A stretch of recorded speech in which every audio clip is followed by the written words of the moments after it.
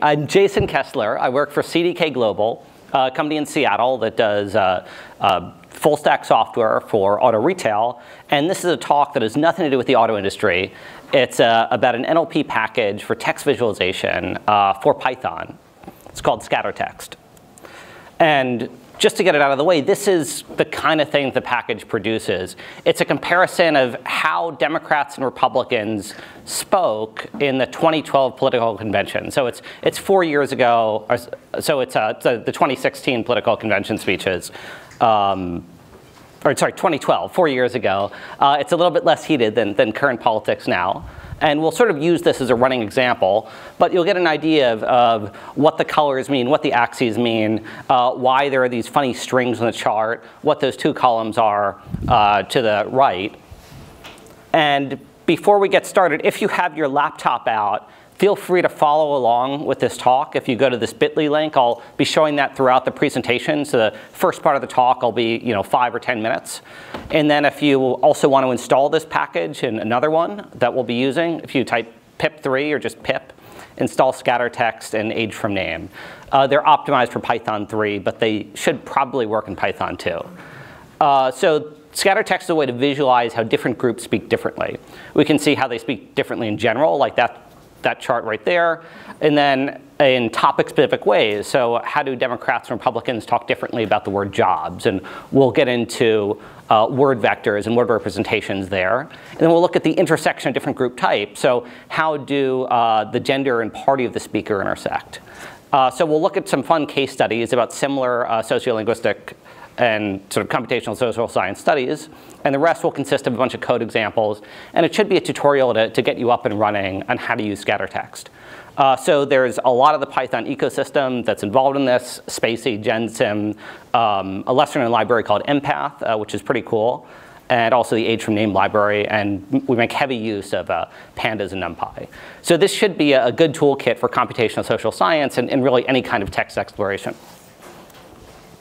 So the first case study we'll talk about was from OkCupid. This is uh, 2010, I think, and it's which words and phrases statistically distinguish different ethnic groups and genders. And the source was this massive amount of dating profiles from OkCupid. So for example, this one lady uh, talks about hobos and almond butter, another Bikram yoga, a third 100 years of solitude. You know, maybe these uh, different things they talk about correlate to their genders or, or their um, ethnic heritage. Uh, so I'll, of course, start off by picking on myself. So here are words and phrases that distinguish white men, like in 2010. So you can see like Tom Clancy, Van Halen, golfing, you know, Ghostbusters. It, it already kind of sounds like like a, a, set of like very specific movie genres. The Big Lebowski. I guess Ghostbusters was still the uh, the original sort of pre-remake.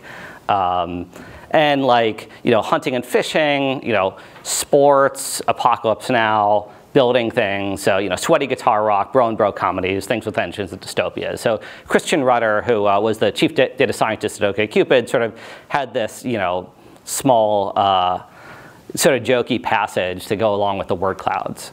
Uh, so one of the really interesting ones is words and phrases that distinguish Latin men. And, and when I looked at this, um, I wasn't familiar with a lot of these categories. And, and of course, uh, you know, this, this segment contains lots of other segments, you know, a ton of different nationalities, uh, Cuban, Dominican, uh, Colombian, et cetera.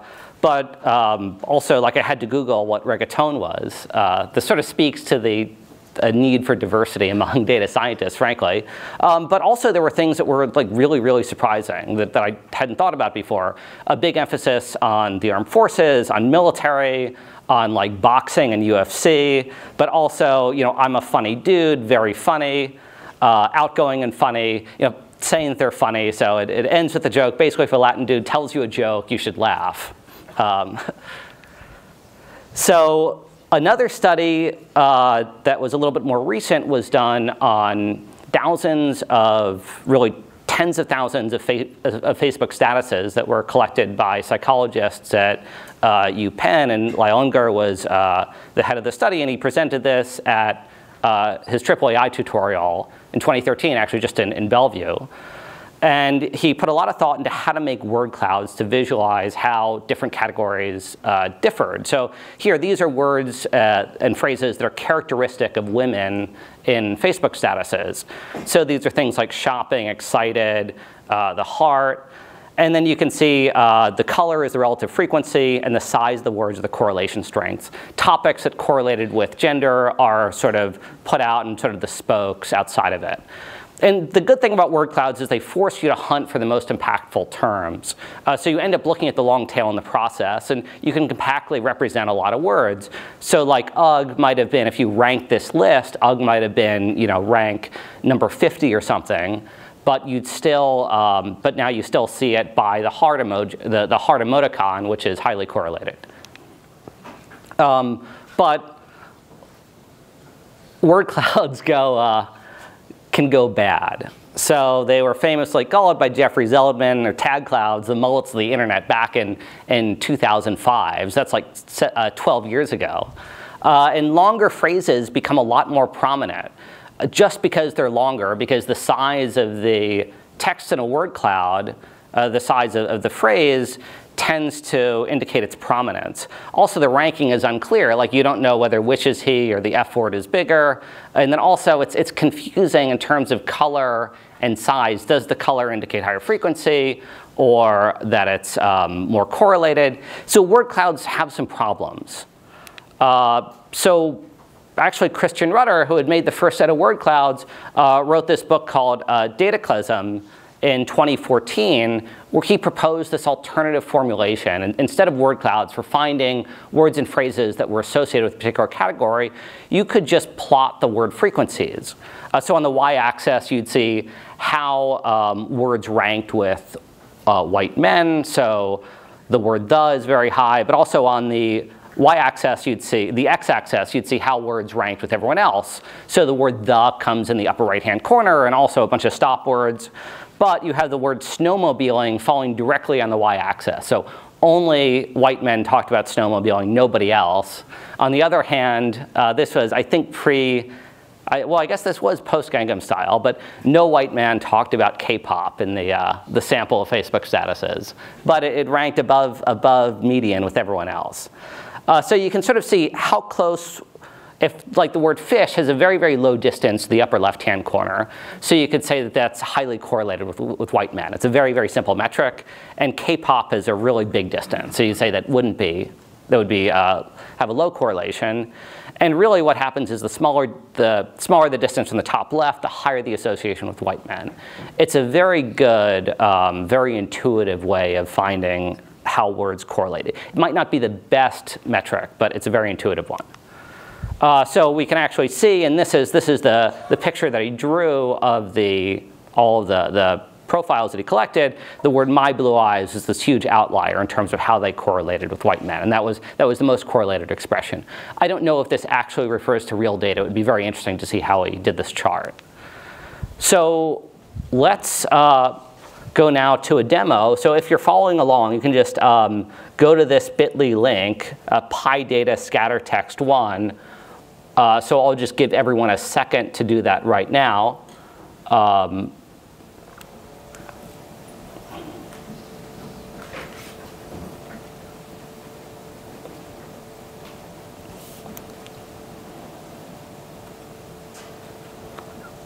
Okay, the second is over. Um, Uh, does anyone still need a little bit more time? Okay, great. So this is the introduction to scatter text. Um, so you can install scatter text through, through pip, and then if you just do import scatter text as st, that's the convention for referring to scatter text. Uh, I also make heavy use of spaCy uh, to do document parsing, and I just call this NLP equals spacy.en.english. If you don't want to install spaCy or download the big uh, language model for English, uh, you can just do NLP uh, equals just a regex tokenizer and sentence segmenter, which, which doesn't work very well, but, but is a lot faster and, and less efficient. Uh, again, does anyone, anyone need the, the bit.ly link again? or? Okay. Great, so what you can do is uh, I've included the uh, 2012 political convention data set in uh, scatter text. So uh, line three here is just pulling this, and then we can see that this gives you a pandas data frame. The first entry, oh yes? Oh, oh, you still have that, oh no. Um, thank you.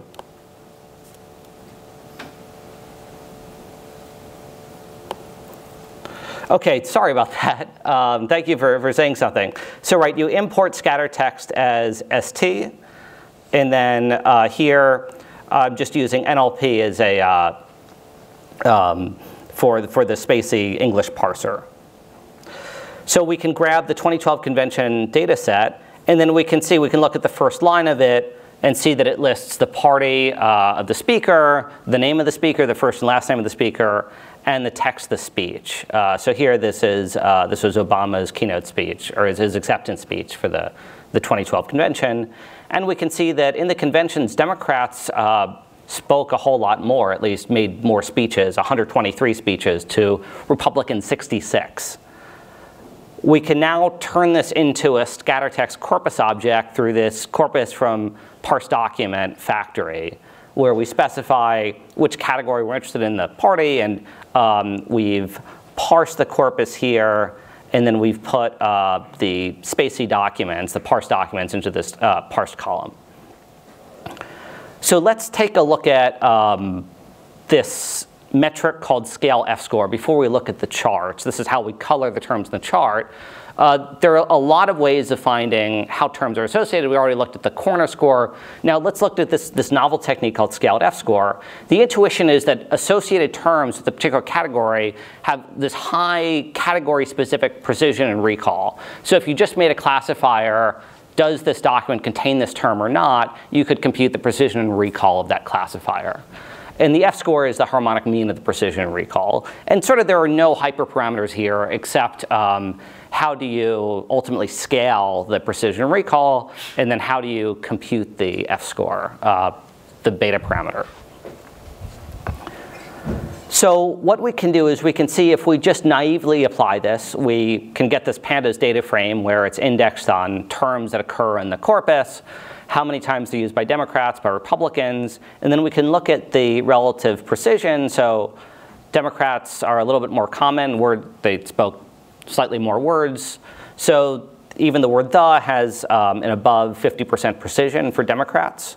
Uh, but, and the recall is, is 2%. So this is, it was used um, essentially in, in 2% of all, uh, spoken 2% of all times. All, about 2% of all words spoken were the word the, so it has a very high scale at F-score just because the recall is, is um, not super low. So this doesn't really work, and these are ranked by F-score. The solution here is we take the, uh, the normal CDF of the precision and recall scores, and that will make them fall between both make them fall also between 0 and 1, but it'll kind of scale and standardize, standardize the scores, sort of. So the mean of the scores will be uh, 0.5. So you'll have, um, you'll, you'll be able to uh, similarly scale both the precision and recall. And what we see is once we apply this, and then we again take the harmonic mean of the, the scaled, uh, the normalized precision and recall, we can see the word middle class comes up as the most correlated term for Democrats. And it was used 148 times by Democrats and 18 times by Republican. The word auto uh, occurs 37 times by Democrats, but zero times by Republicans. So it's doing something a little bit different than the, for example, the log odds ratio, which is another very popular technique. Um, if we look at this for corner score, corner score uh, is much more strict in terms of the precision of these terms. And it just favors terms that have precisions of 100%. So we can see, again, the top 10 Democratic terms, the top 10 Republican terms. Republicans talked about unemployment, we can do better, uh, liberty government. Then he also talked about odd things like the Olympics, since Romney had run the Salt Lake City Olympics. So let's go ahead and see how we can get to these charts. So sort of the naive way of creating one of these charts is you can go ahead and just rank the terms based on their raw frequencies. And this chart is almost entirely dominated by, uh, by stop words.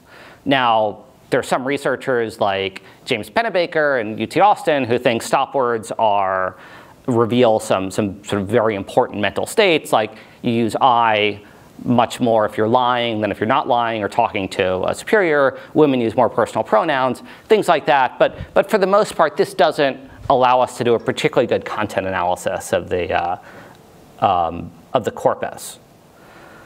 Now, if instead we scale by the log frequency, we get something that looks a little bit better. And actually, the corner scores of these, um, of both categories work pretty well. Uh, so middle class, auto, fare doing a log scale, uh, just to, to, sort of normalize for the Zipfian distribution, to sort of normalize for that. But we still get a whole lot of white space in the chart.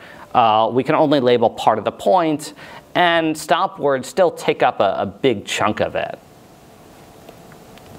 So instead of ranking terms by raw frequencies, we can rank terms based on their percentile, uh, just based on their, their ranks. And the wonderful thing about this is that the stop words are essentially minimized into the far upper right-hand corner, just like they were on the rudder diagram, and then this spreads out throughout the entire chart. The issue here is that, for example, uh, on this point right here, there could be, uh, and if you click on these points, they'll, uh, they'll show context, but right over here, there could be hundreds of words that are stacked on top of that point. And all of them, none of them are accessible because we can only mouse over the first one in this interface. Uh, by the way, these charts are done in D3. There's a custom uh, uh, point labeling algorithm that's created using a, a, package called Cozy that was developed at UW to automatically, uh, that, that easily, makes it easy to write an algorithm to find uh, places to put labels that don't overlap anything else. So one solution to this, this problem, the stacking problem, is you can just jitter the points. So that way we can uh, randomly add some small quantity to each of the points and then spread them out. The issue with doing that is the distance to the upper left-hand or lower right-hand corner is really important. And especially when you get up here into sort of the higher frequency terms, you just get confetti. You get um, words that are out of order, that are very difficult to read. And plus, it just kind of messes around. These are always listed by the, uh, the scaled F scores, you can get, um, like the word cars comes up here, and, and this is ranked a little bit too highly for Democrats. So you can mess up your, uh, your corner score, and especially visually, that's very important. So the, the preferred solution took me a little while to come up with this, but you just break ties, um, you don't jitter, but you break ties alphabetically. What this does is you'll see these like little sequences of terms that all have the same frequency and that are all just laid atop each other because you're breaking ties alphabetically. Uh, so here you have uh, bond and bond came in two wars, so these are in alphabetical order sort of for these exact frequencies. So we can also do a, a couple more types of visualization with scatter text. So we can use this, this package to visualize the differences between different um, term finding algorithms. So for example, using L2 penalized logistic regression uh, is, is, tends to be a preferred way of, of looking at term importance. Uh, so here we can just rank the terms instead of by their corner score, or by their regression coefficients. And what we can see is uh, using uh, a pretty, uh, some fairly aggressive parameters with um, uh, L2 penalized logistic regression, a, a Hi-C parameter, uh, we can see that a lot of stop words do get ranked very highly here. So like for, apostrophe s, and an of are good indicators of a speaker being Republican, which, which doesn't make a lot of sense intuitively. So right now, the, the recommendation here is not to use um, L2 penalized logistic regression for finding terms that are associated. There are also other issues that you can potentially get some balancing out effects. So we can see how this compares to scale at F-score, which looks pretty different. So here the y-axis is scale at F-score. Again, the, the x-axis here is the log frequency ranks. Uh, so scaled F-score tends to uh, like terms that are not incredibly unfrequent, but that aren't super frequent. So the stop words are ranked somewhat highly, like the word Jill over here is actually ranked lower than, than the in terms of association with Democrats, but we can sort of get the middle of the, uh, the middle of the, the frequencies all ranked pretty highly, so we can get interesting semantic information um, based in, in this range of frequencies. And then we can also compare this to things like um, log odds ratio with a, um, which has been sort of very popular with a, uh, an uninformative prior, where here this really favors terms that never occur in either category and, and shrinks everything else. And then also we can look at corner score, which does something similar but is even more aggressive in, in how it regularizes terms. Okay, great. So let's um, take a break from pure word frequencies and let's look at something else. So let's look at gender discriminating terms. And we'll take a step back. So we'll just set this up just the same way we did earlier. And let's look at this package called age from name. Uh, what this does is this will tell you um, what someone's age is, but also based on social security data of, of, how many people had a particular first name in a given year and life expectancy data it will impute the probability that someone's, uh, if someone's name is Kelsey, uh, what's the probability they're male? So right now, if someone's name was Kelsey, they'd, you'd have a 3% chance of being male.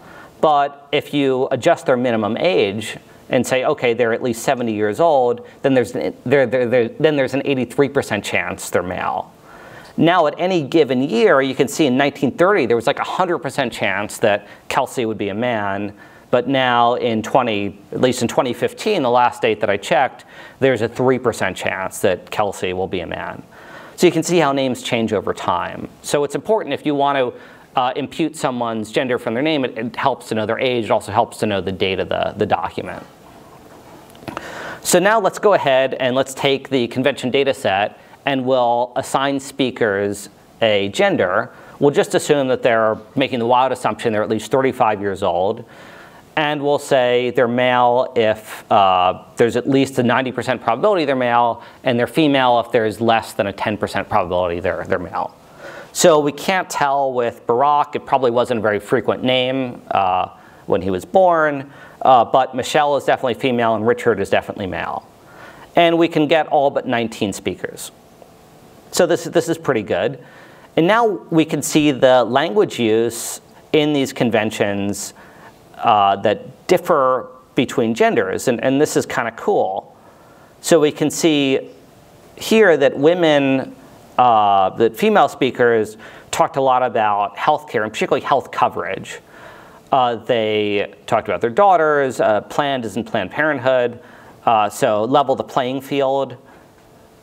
And then these also sort of tend to correspond with uh, Democratic talking points, but these were we'll, we'll sort of see how these, uh, these intersect with gender. But the word lady, so these very gender terms, ladies, mom, uh, also birth control, first lady, daughters. For men, it was, there was a lot of rhetoric and policy. So the word yet, uh, you know, trillion dollars of debt, Bain Consulting, talking about Israel, is mostly Democrats talking about Israel, the private sector, confidence, the poor, energy policy, private equity. So it sort of it tells you something about how the parties position their speeches, where the female speakers are speaking directly toward uh, toward female voters potentially. And now we can even see how gender and party intersect. So we can graph down here how the scaled F scores differ on the y-axis, we can see the scaled F-score of uh, how democratic a word is, and the y-axis how female a word is. So in the lower left-hand corner, you can see Republican words that were characteristically spoken by men. So these were unemployment, government, church, trillion, debt, Bain is in Bain Capital, like the dollar sign. And then in the upper right-hand corner, we can see democratic words that were spoken uh, by women predominantly. So we have the word women and uh, woman. And this is also sort of an interesting reason why I don't stop list, because if you see the same word appearing both times with the same morphology, then that's, that's sort of added evidence that it's, it's valid. Uh, and then also the word am, which is kind of an interesting stop word that, that got in here. Uh, and then again, you can see more, um, actually, I think am may have been neutral. But uh, so women was, was highly associated with Democrats, women less so. Also insurance in the word vote was very interesting, that this was um, very characteristic of Democratic women. And then Republican women, you have success, and they really like Ronald Reagan. Um, and then also talking about Ann Romney.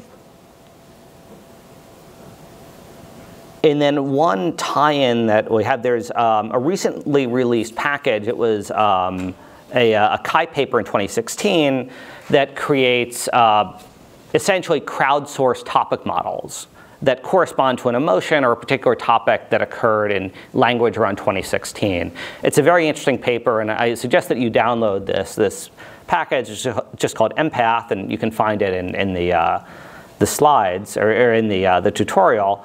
But you can see one of the interesting things was, so women talked about things that were feminine, they talked about dance.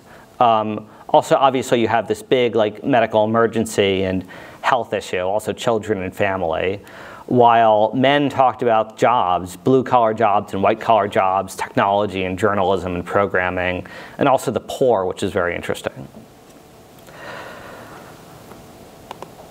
So let's, uh, let's look at how this intersects with word vectors and with, with deep learning, which has been very popular at this conference, if you want to call word2vec deep learning.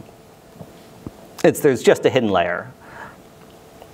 So again, we, we load the convention set just as we normally do. And for the first example, we can use GenSim to train a word2vec model. And if you've ever trained a word2vec model in GenSim before, you know there's quite a bit of hyperparameter tuning, and there's a little bit of a dark art to training these things if you don't have a gargantuan amount of data. So I, I won't go into that, but there's a lot of literature on, on how to best train uh, uh, word representations. But we can see intuitively that this model performs pretty well. So taxes, uh, affordable cuts, um, prescription, fair tax, opportunities, not great. We can see how this relates to, say, Obama. Oh no, and I, actually, let's not. but so for example, we can look at a particular target term. So I, I have the term jobs here. And we can color words that are associated with one category or another. These are using penalized log odds ratio uh, just to see words that have a p-value of less than uh, 0.05 that are associated with Democrats or Republicans. Those are, oh yes? Oh, oh thank you. Those are, those are colored and uh, Democrats are colored blue, Republicans are, are colored red. And then we look at the word similarity scores between the word jobs and all the colored terms, and then we can see how the two parties talked about jobs. So Republic, with Democrats in this model, it was middle class, auto industry, a plan, um, fair, so it wasn't great, job cuts, and the Republicans, success, and talking about job killing regulations. Another way of doing this, instead of training bespoke topic models, is it's built into scatter text where you can just use spaCy's, uh, common crawl, uh, spaCy's common crawl word vectors, which uh, which tend to work much better for this application. So you can see like the word workers uh, occur is highly associated with Democrats as is companies. So here you can see it's really kind of labor versus business are how Democrats and Republicans talk about jobs differently. So job creators versus workers uh, is, is a pretty interesting result and is, is intuitively plausible. And that is it for the presentation. So thank you uh, very much. And are there any questions? Thanks a lot. Um, I was curious, so I have two questions. Um, the first one is I noticed some multi-word expressions in, in these plots. I was Uh-huh. curious how you, how you treated those as single uh, tokens. Okay, so I used just the PMI trick Okay. uh, to, to find multi-word expressions. I just looked at bigrams and Okay, treated cool. them just like everything else. Yeah. And so you include a, um, a sample corpus with scatter text, and That's that includes like the pre-processed. Uh, yeah, that just includes like a basically a CSV or, or a data frame, Okay. uh, just of the data that I showed. Cool. Uh, and so my other question was about uh, scaled F-score, and I was wondering if you if you could just talk about that a little bit more. Oh, like sure. the motivation and, and maybe point to some literature. Uh, yeah, so there's no literature. This, this is the literature for scaled F-score. Okay. Um, so the motivation is that a lot of these other, so multivariate scores like um, logistic regression tend to have these weird balancing out things where you'll have words that aren't really correlated or there's some relation, there's some multicollinearity and you'll get funny weights. So I was looking at unigram scores and uh, looking at, so what was very popular is log odds with an informative prior um, that requires you to pick a specific background corpus to balance out against. So scaled F-score tends to be hyperparameter free, and it just doesn't ape um, log odds ratio, which is the problem with a lot of these. Uh, Just looking at your examples in particular, it seems like a lot of things would be further differentiated if you could look at n-grams. For example, jobs was differentiated. Well, probably good jobs has a very different party affiliation than job creators or free market versus free press or something like that.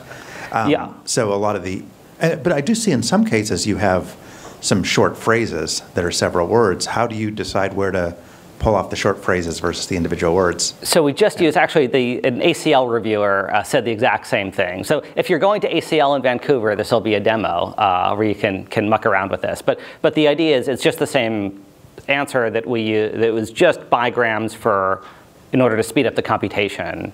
And then I just looked at a PMI filter to see which bigrams looked like they were statistically improbable. But yes, I think it would benefit from more n-grams if there was more computation time. And also it's harder to label longer expressions on the chart. So uh, most of the, your reasoning are based on a word or shorter phrase. Uh-huh. Uh, any attempt to build a model for understanding a sentence, Uh, for studying a sentence. yeah, to understand a sentence. Uh, so I think you could conceivably use this to, um, to plot, uh, say, if, if you had a probability that a sentence was generated by a particular corpus, or if you train language models on uh, both categories, you could see the probability that this sentence was generated by this category, and then plot those sentences in a similar fashion. But I hadn't thought about that. It's an interesting question.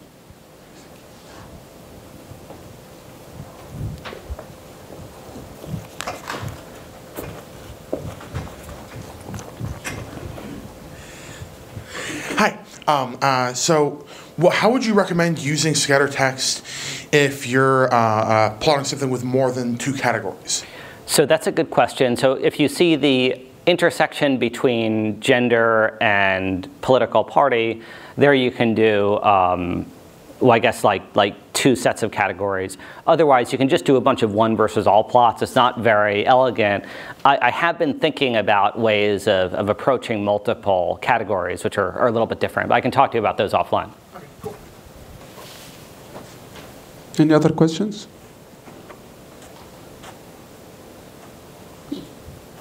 Uh, so you you mentioned about P, uh, PMI filter, like which Uh-huh. part of the code is about this? Uh, Oh, so there is, so I just included this internally.